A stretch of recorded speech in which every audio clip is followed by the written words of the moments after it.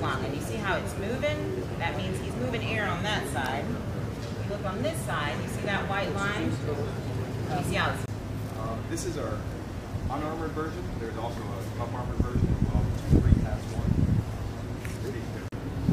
Uh, it's called GMV 1.1. I think they're provided to a ballistic infantry. Just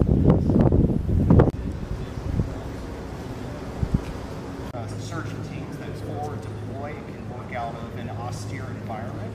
Second, our special operations surgery.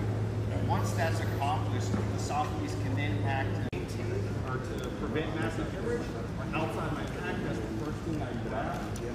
Second is successful pack here.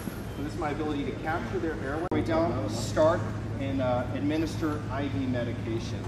This is an example here. Typically our starting point. So we'll collect a battlefield casualty such as this. We can't get unaddressed as well. That's called a pneumothorax. Our, uh, these are some examples of how we give blood or the blood products. Uh, we have to be very algorithmic and very, uh, very attentive to details such as that. We can shoulder.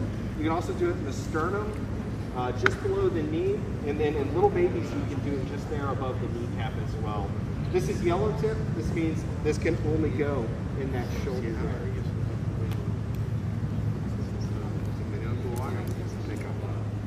Most important thing with this is you got it when you start, just send it home. You can't uh, can't fiddle around with it.